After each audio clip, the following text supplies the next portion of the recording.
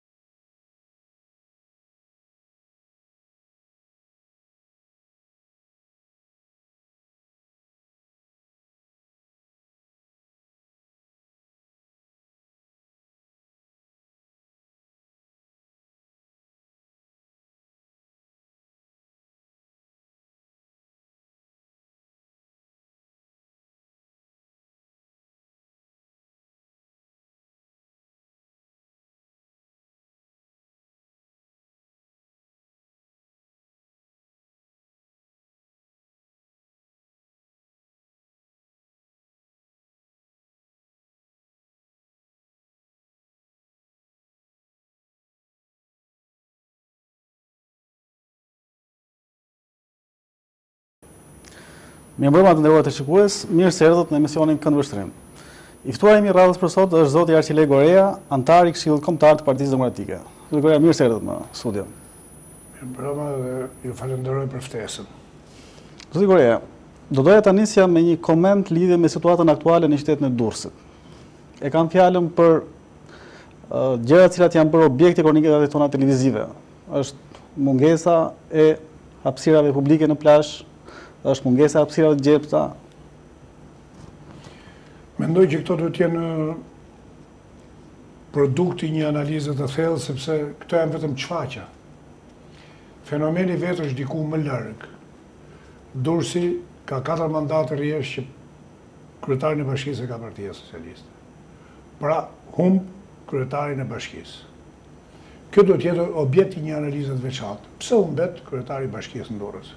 Durrësi është qytet që nuk ka demokratë, është qytet ku nuk ka mbështetje Partia Demokratike, është qytet që refuzon kandidaturat, apo është qytet që ka humbur besimin ke politika dhe rrin indiferent? Kjo besoj duhet të jetë pjesë e një analize të ardhshme që nuk do t'i mungojë Partisë Demokratike me ristrukturimin e vet që ka tani. Por këto që ju thatë janë totalisht të vërteta. Pse janë të vërteta? Qytetaria durrsake po nëpërkëmbet, po i nëpërkëmbet prona, po nëpërkëmbet prona publike, hapësirat e gjelbërta po betonizohen, plazhi po uzurpohet, qytetarët durrsakë janë si indigjenë, janë refugjatë në qytetin e tyre, i përzënë pronarët e plazheve private dhe me rroba në dorë nuk dinë se ku do të shkojnë që të lahen.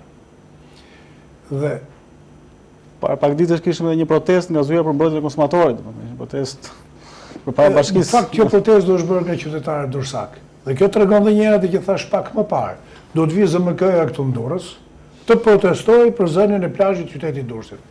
Po qytetarët durrsakë ku janë? Ka qytetarë Durrësi? Ka njerëz që e duan qytetin? Ka intelektualë? Ka njerëz që shohin më larg se interesat e tyre? Sigurisht që ka. Atëherë, çfarë i detyron këto njerëz të rrinë mënjanë? Mbase, mbase, shpërfillja e zërit të tyre. Ato e kanë ngritur zërin, kanë folur, kanë kërkuar, dhe në fund kanë shkuar në tradicionin popullor që thuhet atje ku lyp dhe s'të japin, atje ku flet dhe s'të dëgjojnë, as mos kërko, dhe as mos fol. Nuk besojnë te politika, më?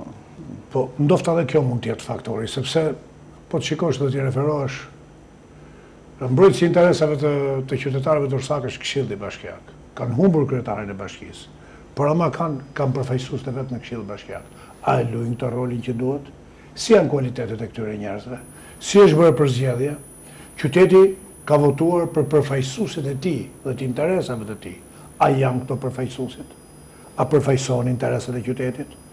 Apo është krijuar një atmosferë, si të thush, një bashkëjetesë politike në Këshillin Bashkiak, ku secili nga këshilltarët shef interesat e veta, ndajnë asetet dhe paçka se ç'ndodh me qytetarët, me qytetin dhe me interesat qytetare.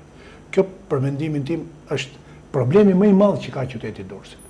Shpërfillja e qytetarisë durrsake, mungesë e zërit, zërit të saj në forume dhe, do të thoja, ringritja e moralit të këtij qyteti.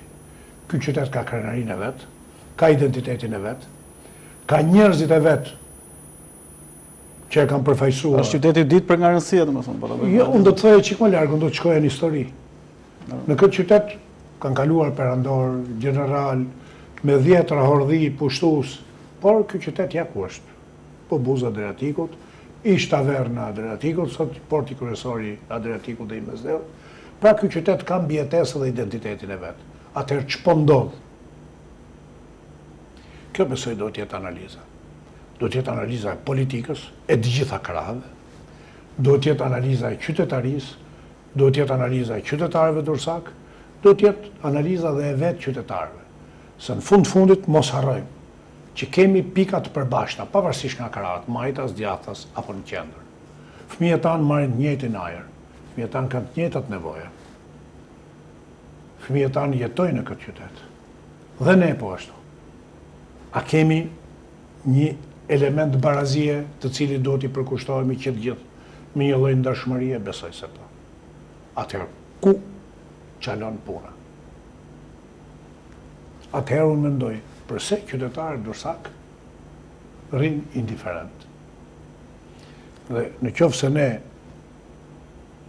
kryem disa procese, njëri mas tjetrit, të fillu që nga zgjedhjet e njëzet e tre qershorit. Dhe deri ke zgjedhjet brenda Partisë Demokratike në njëzet e dy korrik, mendoj që këto duhet të jenë procese që duhet t'i nënshtrohen një analize, por njëkohësisht dhe procese që duhet të vënë pikat mbi i për mbarëvajtjen e qytetit, për t'i thënë ndal fenomeneve negative, elementit negativ dhe të papërgjegjshëm, që ndonëse në mënyrë të pamerituar ndodhet nëpër pozicione që pengojnë frymëmarrjen e qytetit. Mirë, por do t'i marrim me radhë. Dalim tek zgjedhjet e njëzet e tre qershorit. Kush mendoni se janë arsyet e humbjes së të djathtës? E para punës dua të them që konsumimi i dy mandateve gjithmonë e vë forcën politike para vështirësive për të fituar mandatin e tretë. Sidoqoftë, ka gjëra të bëra mirë, ka gjëra të bëra shumë mirë, por ka dhe gjëra që nuk kanë shkuar. Unë e them me bindje, nuk është produkt i punës në terren, sepse për hir të vërtetës ne duhet të pranojmë një të vërtetë, që atë që ka bërë Partia Demokratike dhe qeveria e saj në këto dy mandate, në fushën e rrugëve, të infrastrukturës, të elementëve të të mirëqenies qytetare, të ndriçimit të trurit të qytetarëve, të energjisë elektrike që të gjithë jemi dëshmitarë që na gumxhinin veshët nga gjeneratorët, të ujësjellësit, të gjithëve, janë vepra madhore që nuk mund të mohohen. Por, ne nuk humbim nga gjërat që kena bërë mirë. Ne kemi humbur nga gjërat që nuk i kena bërë mirë. Atëherë çfarë nuk kena bërë mirë? Si i kena pas raportet me qytetarët? Si u kena shërbyer atyre? A i kena konsideruar veten ne njerëz që përmbushim vullnetin e votuesve tanë? Kjo është pastaj ajo pjesë që duhet t'i nënshtrohet analizës. Qyteti i Durrësit vazhdimisht ka dhënë mesazhe. Ndonëse shumëkush ka menduar që e ka e ka sunduar qytetin e Durrësit. Ka bërë ç'ka dash shefi. Ka bërë me atë pjesë të vogël që quhet pjesa organizative.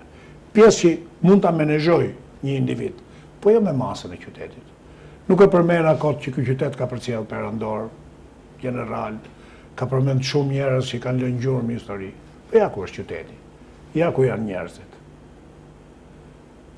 Mos ndoshta është një lloj arrogance nga sipas sipas mënyrës vet secush ka marrë diftesën që ka, dikush ka marrë diftesë kaluese, dikush ka ngelur në klasë, dikush ka dalë shkëlqyshëm. Këto janë pjesë e kartës memories qytetit pastaj. Por, gjithsesi, a është kuptuar nga klasa politike dhënia e mandatit për t'i shërbyer qytetarëve? A janë përfaqësuar interesat e qytetarëve? Si ka ardhur nga viti në vit përfaqësimi i interesave? Përmirësimi i jetës së qytetarëve?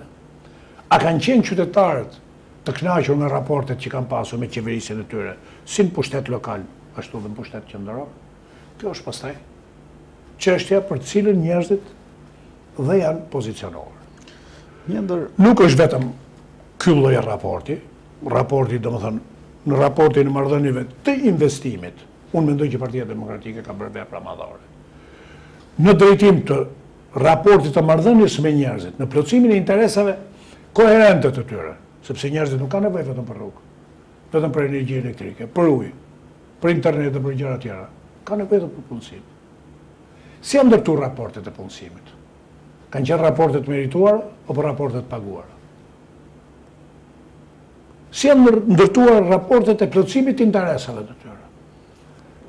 Për kualifikimin në shkallë të karrierës, sipas meritës apo sipas klientelizmit? Mendoni se gjërat kanë çaluar në këtë drejtim? Absolutisht që po. Dhe këtu besoj që është defekti që ne kemi pasur gjatë qeverisjes, dhe këtu mendoj që duhet të jetë pista e ringritjes së Partisë Demokratike jo vetëm në Durrës, por gjithë Shqipëri. Meritokracia. Sepse po, meritokracia është në qoftë se flasim për ekonomi të tregut, në qoftë se themi që sistemi më i avancuar është sistemi i konkurrencës, atëherë këtij sistemi të konkurrencës po t'i heqësh konkurrencën, pra meritokracinë, atëherë është një makinë që sado luksoze që të duket nga jashtë, nuk ka motor. Bjeri motorinës nuk ndizet, futi marshet nuk lëviz. Atëherë në rroftë fotografia. Pra, pra motori që ka çuar shoqërinë njerëzore përpara, ka qenë gjithmonë zhvillimi i kontradiktës në adresë të progresit. Gjithkush kërkon të ruajë statukuonë, rehatinë, çerdhen e asaj që ai ka menduar se shkon mirë, por ama nevojat e shoqërisë, nevojat e individit, nevojat e elektoratit, kur bie ndesh, ndodh rrokullisja. Dhe në këtë drejtim, unë them që ne kemi shumë për të bërë dhe shumë për të përmirësuar brenda vetvetes. Jo se ato që fituan janë më të mirë nga ne. Po ndofta ishin e keqa më e vogël. Për votuesin. Po, për votuesin. Sepse, Partia Demokratike është një detashment politik në Shqipëri. është partia që përmbysi diktaturën, është partia që integroi Shqipërinë në Europë, në NATO, është partia që E hoqi shqiptarin nga radhët e ambasadave dhe e bëri qytetar me personalitet që me atë pashaportën që ka stemën e flamurit në kopertinë lëviz në gjithë botën, që këto janë vepra madhore që ka bërë dhe të padiskutueshme. Arriti në një moment që qytetaria ose votuesit tanë i thanë shiko se ti duhet të përmirësohesh. Dhe kjo është diçka që do menduar mirë. Dhe përmirësimi nuk vjen as nga mllefi, as nga ruajtja e statu quo-s, as nga ruajtja e akuariumit të interesave komode të X-it, Y-it apo Z-s, por ama ky është një proces zhvillimi gjithmonë në adresë të punësimit, të përmirësimit. Pra, përmirësimi do të thotë rritja, e cilësisë së jetës së qytetarëve. Një ndër shkaqet që artikulohet shpesh në lidhje me humbjen është edhe përbërja e listave. A ndani të njëjtin mendim? Unë në këtë studio kam thënë që listat nuk ishin më të mirat, por ishin të pranueshme. Dhe i qëndroj këtij. Tashi, çfarë nuk kuptoni me këtë? Unë nuk dua të them atë që thuhet shpesh, trima mas lufte dhe si të urtë pas kuvendit, gjen me shumicë. Por megjithatë nuk mund të rri dot pa i shpreh opinionet e mia. Qyteti i Durrësit është qytet me personalitet, është qytet me resurse, është qytet që ka kontribuar jo vetëm në brendësinë e tij dhe në zhvillimin e tij, por në gjithë Shqipërinë. Mund të them edhe më gjerë. A u aktivizuan kualitetet e këtij qyteti në përfaqësim? Unë them që ka pas diferenca. Duke fillu që nga ana krahinore, Dhe deri ke ana fetare. Nuk është respektuar ky kriter? Po besoj që nuk është respektuar. Dhe kjo është fakt. Po të themi që nga ana krahinore shumë pak ishte i përfaqësuar qyteti i Durrësit. Thjesht në pjesën fundore. Nuk dua të hyj analizave dhe për ndonjë që mund të quhet durrsake ishte prej kësaj zone ose ka kaq vjet që banon Durrës. Nuk dua të hyj kësaj analize.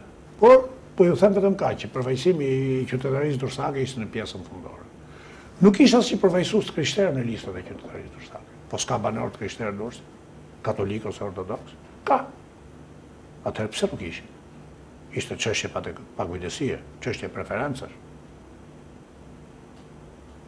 Besoj që përfaqësimi i interesave të komunitetit duhet bërë në të gjithë spektrin e tij, si në spektrin krahinor, si në spektrin intelektual, si në spektrin fetar, aq më tepër që Durrësi shquhet si qytet i bashkëjetesës fetare. Atëherë pse mos zhvillohesh kjo bashkëjetesë dhe në listën e kandidatëve? S'kishte asnjë arsye. Ndofta ka qenë pa kujdesi. Por mendoj që ka ndikuar. Ka pjellë arsye. Po normalisht atje ku nuk përfaqësohem, Edhe edhe kam të drejtë të dyshoj. Po për Por unë mendoj që një arsyetimi im, sipas meje, nuk është vetëm përfaqësimi i kandidatëve. Unë mendoj që në plan të parë, në këtë fushatë doli më shumë administrata sesa strukturat e partisë. Mund të na sqaroni pak më shumë? Po, sepse Në krye të qarqeve ishin ministra. Në krye të punëve ishin drejtorët qendrorë, për shembull si puna ime. Në terren ishin personat e administratës. Po kjo administratë, krahas punëve të mira kishte bërë dhe gabime. Dhe i ardhi rradha të ndeshesh me votuesin. Po kjo nuk ishte ftyra e vërtetë e Partisë Demokratike. Kjo ishte një administratë produkt i atyre gjërave që ne thamë më parë. Po ftyra e Partisë Demokratike është është shumë më lartë sesa ftyra e administratës. Sepse administrata mund të ketë mund të jetë dhe produkt i njerëzve të caktuar dhe i lobimeve të interesave.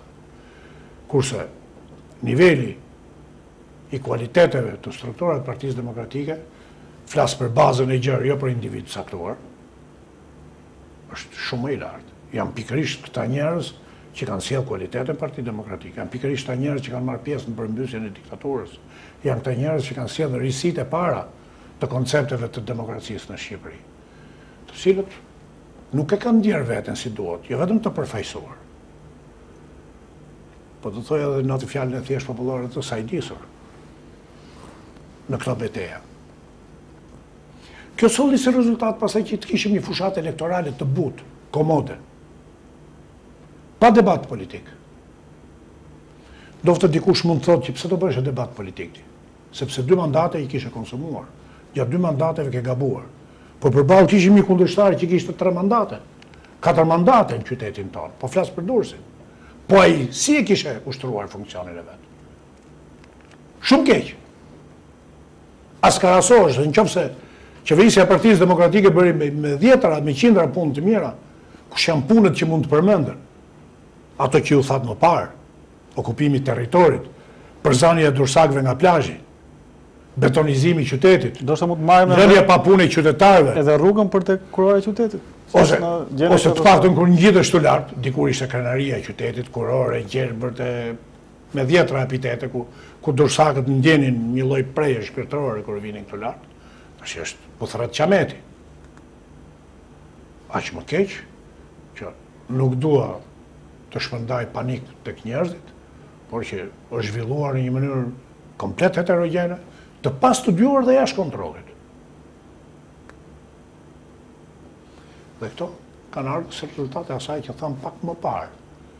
atëherë mos ka një lloj bashkëjetese politike në qytetin e Durrësit, mos ka një lloj dakordësie që ti bëj të tuat, unë bëj të mia dhe jemi rehat të dy bashkë. Sepse ky televizor ka bërë dhe një kronikë për bashkëjetesën politike.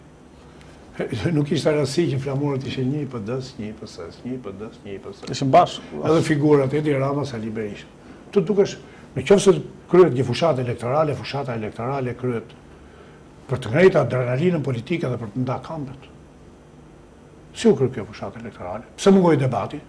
Ishte në fakt një fenomen i çuditshëm, do të thoja. Ndofta mos nuk kishin ça t'i thonin njëri-tjetrit që të njerëz se bashkëpunonin. Ndofta dhe kjo mund të ishte, flas gjithmonë për qytetin e Durrësit. Atëherë, mos kishte një bashkëpunim në heshtje dhe një tallje me interesat qytetare, Një tallje me angazhimet që të dy palët kishin marrë përpara qytetarëve të Durrësit. Gjithsesi kjo ka një kuptim. Kjo ka një kuptim sepse qyteti i Durrësit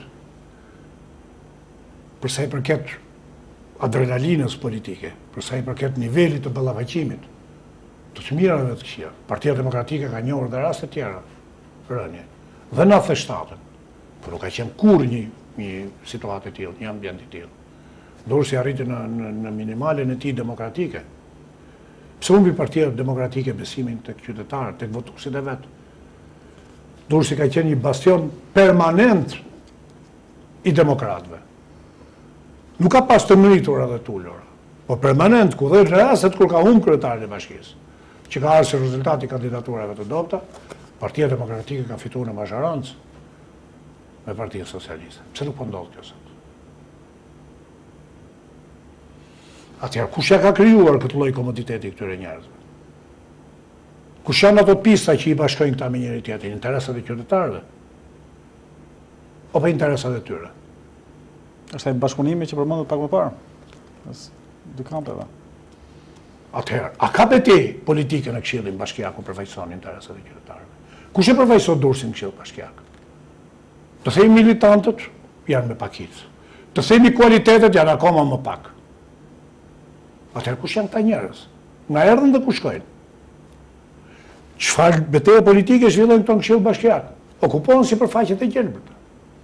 Dikur u përballën me kioskat për të bërë lulishte. Tashi zihen lulishtet dhe bëhen kioska, bëhen pallate. Kush e ngre zërin për këtë? Ku është protesta? Flas për politikën në radhë të parë. Dhe kjo pastaj sjell atë, qytetarët demoralizohen, këta si të gjithë njëlloj janë. S'kemi ç'bëjmë, na ka zënë me këta.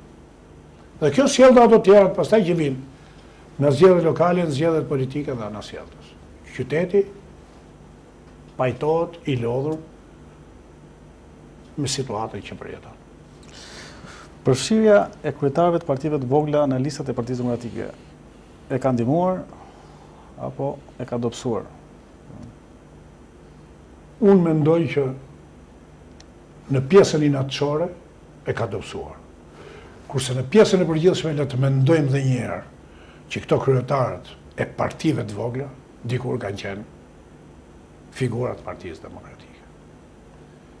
Pse mos ta shtrojmë kështu problemin? Dhe më duket një rikthim për mua është një mesazh i mirë. Partia Demokratike është shtëpia e demokratëve.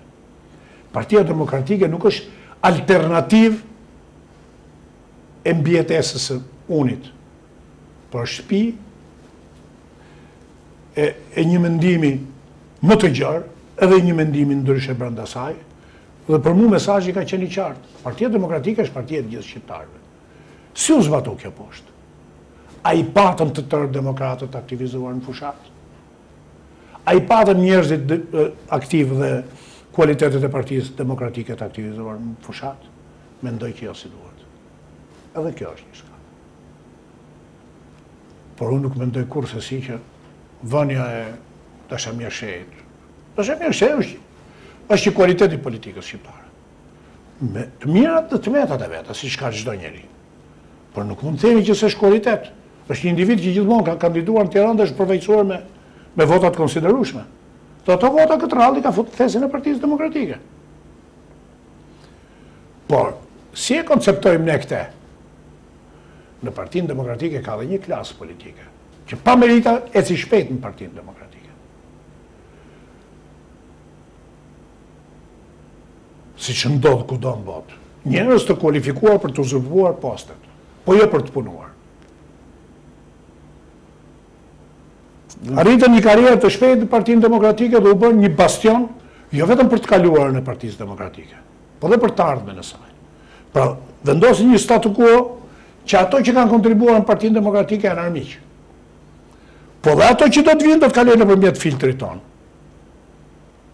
Se po s'përmbushën standardet e shijeve tona, nuk janë të denjë. Pra mendoj që kjo qe e dëmshme për Partinë Demokratike. Dhe në qoftë se do të do të vijojmë më, më andej, gjërat duken qartë. Pra, u krijua një shtresë brenda Partisë Demokratike në funksione të pamerituara, pa karrierë të merituar, dhe në qoftë se do t'i hyjmë analizës dhe t'i shikojmë, ku çfarë kanë bërë ata për Partinë Demokratike? Se kanë qenë të gjithë njerëz me detyra në Partinë Demokratike. Kanë qenë njerëz me përgjegjësi në Partinë Demokratike. Si i kanë mbushur përgjegjësitë këta njerëz që pretendojnë? A kanë dhënë këto aq sa ta meritonin atë vend që kanë marrë? Si janë përballur këto me kundërshtarin? Si janë komplementuar me me anëtarësinë e Partisë Demokratike? Sepse ka defekte. E drejta e pretendimit është një e drejtë morale. Po është morale tek ata njerëz që kanë moral, jo tek të pamoralshmit. Të pretendosh do të thotë të jesh dikushi. Që të jesh dikushi, duhet t'u kesh treguar të tjerëve që ti din të bësh diçka, më mirë se të tjerët. Po kur ti demonstron se gjërat i bën më keq se të tjerët dhe kërkon të jesh mbi të tjerët, atëherë bëhesh qesharak. Dhe mendoj që ky lloj elementi në Partinë Demokratike e ka dëmtuar partinë. dhe ka qenë pjesë e humbjes së Partisë Demokratike. Në këtë logjikë, marrja përsipër e fajit nga lideri Berisha, domethënë. A mendoni se kjo, se dorëheqja duhet të shtrihet pak më gjerë? Akti i marrjes së përgjegjësive nga Sali Berisha nuk është i çuditshëm, është tërësisht në tipin e tij, Ashtu siç merr përgjegjësitë, me skrupulozitet ka marrë dhe këtë radhë përgjegjësitë, por humbja nuk është e Sali Berishës. Sali Berisha mund të ketë pjesën e vet në humbje. Por Sali Berisha kishte një staf, kishte të besuarit e tij, kishte përfaqësuesit e tij, që në qoftë se Sali Berisha dha dorëheqjen asnjëri nga ata nuk reagoi. Përkundrazi, iu hap oreksi për të zënë vendin e Sali Berishës. Po Sali, Sali Berisha ka qenë dhe do të mbetet një burrë i madh shteti. Dhe të veshësh kostumin e Sali Berishës nuk mund ta veshë kushdo. Sepse në qoftë se është 10 xl, nuk mund ta veshë një small atë kostum. Kështu që duhet të jesh, duhet të jesh i merituar. Tashmë kemi kryetarin e, part, e ri të Partisë Demokratike, zotin Basha. Unë mendoj që kryetari i ri i Partisë Demokratike erdhi si rezultat i një procesi totalisht demokratik. Partia Demokratike e kishte pritë prej kohësh, ndofta, këtë lloj përzgjedhje, një anëtar, një votë. Dhe duhet falënderu Sali Berisha që e aplikoi tani në fund këtë. Dhe ka qenë një një rast, do të thoja, jashtëzakonisht pozitiv, mbas humbjes së 23 qershorit, njëzet e dy korriku, ku demokratët treguan një pjekuri të jashtëzakonshme. Aktivizuan kartën e memories. I thirrën vetes në përgjegjësi. Morën përsipër përgjegjësitë dhe menduan seriozisht për të ardhmen. Dhe mbështetja plebishitare që pati kandidati ose kryetari i ri i Partisë Demokratike, Zoti Basha, do të thoja që ka qenë një analizë e thellë dhe një demonstrim pjekurie nga të gjithë demokratët. Në fakt ka pasur kritika në lidhje me procesin, e ke fjalën për deklaratat e Zotit Patozi? Po, Zoti Patozi, çuditërisht, sepse unë relacionet që kam pasë me te, kam pasë miqësore, Kam pas tjera konsiderata për të. Po unë mendova që pas zgjedhjeve zoti Patozi do të mendonte për Kavajën. Pse në Kavajë kemi humbur? Humbëm bashkinë. Humbëm deputetin e Kavajës. Ai është djalë i lindur dhe i rritur në Kavajë. Unë mendova që zoti Patozi do të mendonte për Vlorën. Ku Sali Berisha i besoi qarkun e Vlorës.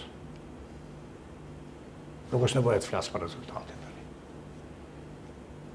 sepse nga informacione që të paktën qarkullojnë dhe i kam dhe unë, Sali Berisha i ka dëgjuar shumë të gjithë të deleguarit e tij në qarqe. Ka përgjegjësi ky? Dhe fjala e parë ose kryefjala e deklaratës tij do t'ishte i kërkoj ndjesë këtyre njerëzve që unë mora përsipër t'i udhëheq, dhe jo vetëm që s'i çova drejt fitores, po i çova në rezultate më të ulëta. A ka ndonjë arsye qëndrimi i zotit Patozi? Çfarë qëndron po, pas? Po besoj që ky nuk është qëndrim individual, është qëndrimi i një grupimi mrena Partisë Demokratike, që e ka menduar ndryshe zhvillimin e Partinë Demokratike. Ka menduar që Partia Demokratike ka njerëz që mund të menaxhohen nga çdo lloj kualiteti, që ka njerëz që mund të futen në vathë dhe të komandohen,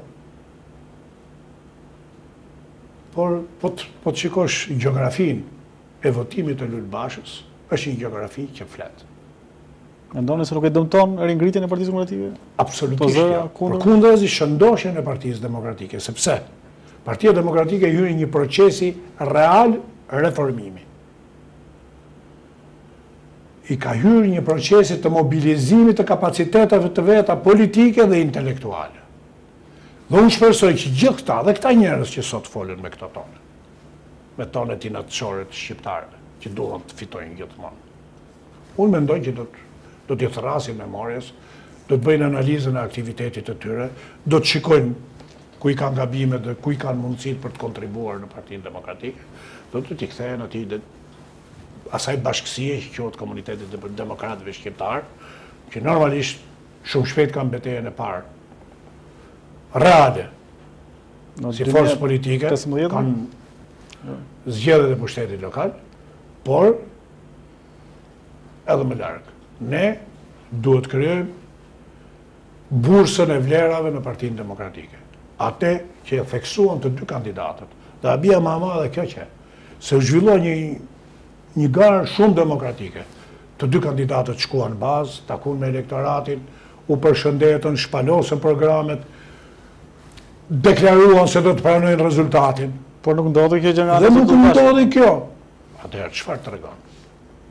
Tregon që ndofta të papërgatitur për ose të mësuar keq.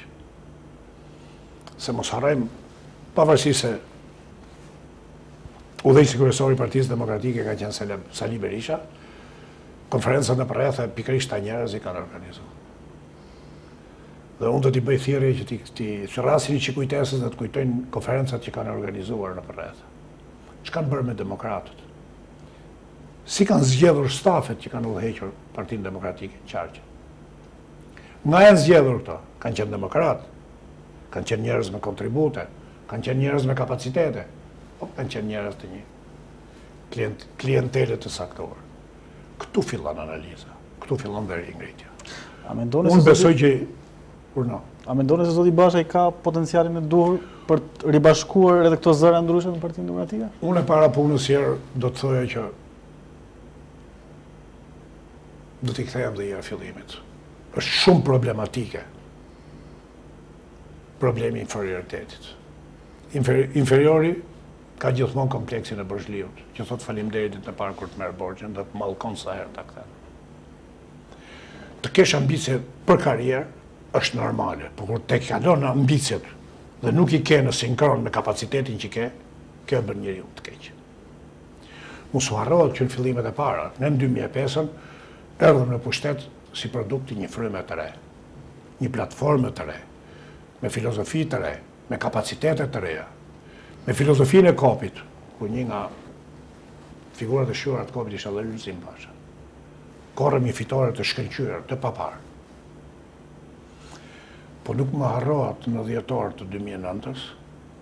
kur ne bëmë kuvendin e partisë dhe votohej për këshillin kombëtar, qarkullonte një SMS. Mos votoni X-in, Y-in dhe Z-në. Dhe në krye të listës ishte Lulzim Basha. Ç'u kishte bërë Lulzim Basha këtyre njerëzve? Mesazh qarkullues. Asgjë s'u kishte bërë. Përkundrazi, kishte kontribuar aktivisht në fitoren e Partisë Demokratike. Atëherë, ku lindi armiqësia?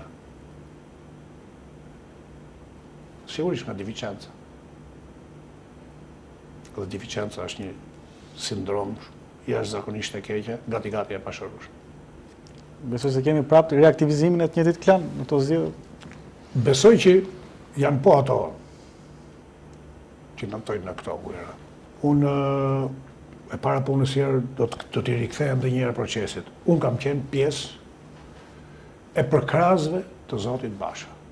Këtë nuk e kam bërë në ilegalitet, përkundrazi, kandidatit Olldashi i kam thënë që unë jam, që në ditët e para që ai shpalli kandidaturën, i kam thënë që jam me stafin e zotit Basha. Dhe besoj që më mirë kuptoj.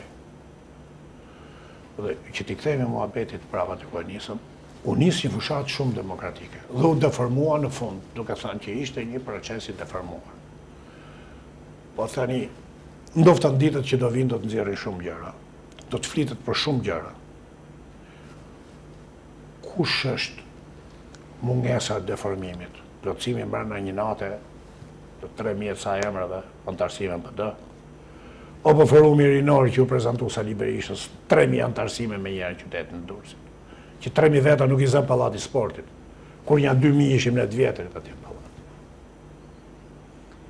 Ka pasur manipulime me listat, po? Ka pas fiktivitet shumë.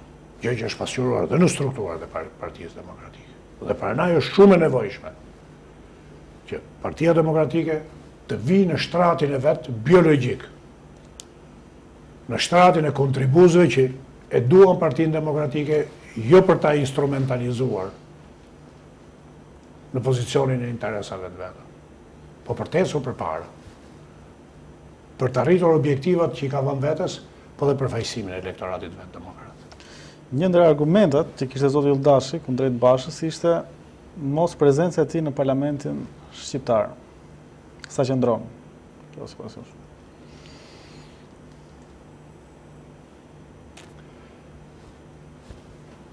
Unë nuk mund të them që zoti Olldashi s'ka të drejtë. Ajo varet nga optika se si i gjykojnë njerëzit gjërat.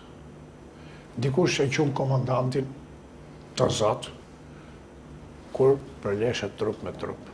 Dikush e quan komandantin të zot, kur nga një po, pozicion më i lartë shikon fushëbetejën dhe jep komandat e duhura. E rëndësishme është që zoti Basha të fitojë betejën. Dhe faktikisht unë di që kur u ngarkua si përfaqësues në zonën e Elbasanit, Çuditërisht, në zgjedhjet e dy mijë e nëntës, Elbasani bëri një hop cilësor. Është i vetmi kandidati joni që ka mundur Edi Ramën. Është njeriu që paraqit kualitete, ka negociuar si ministër i jashtëm në të gjitha pozicionet ndërkombëtare duke i dhënë arritje Shqipërisë. Ka marrëdhënie të shkëlqyera me ndërkombëtarët. Të mos flas pastaj për cilësitë e tij individuale, por që nuk janë aq të rëndësishme, sa është ajo që zoti Basha është njeri, është perëndimor në mentalitet dhe në formim. Student i shkëlqyer, pa hije,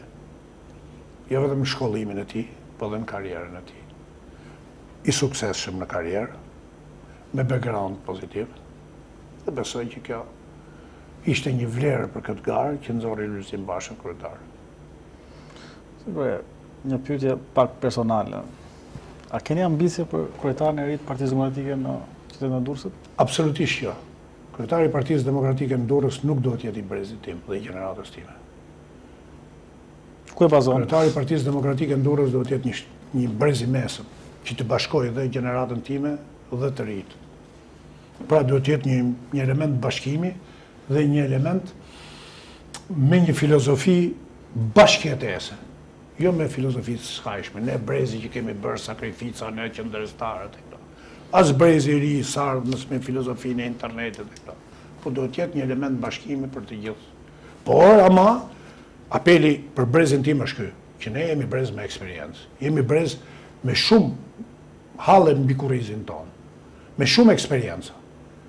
Dhe këtë duhet ta investojmë te kryetari i Partisë Demokratike, që ai të mos rrëshqasë, përkundrazi eksperienca, pësimet tona të jenë pësime, pa pasur nevojë ai t'i provojë, dhe ta ndihmojmë për të ecur përpara. Ky është mendimi im personal, ë.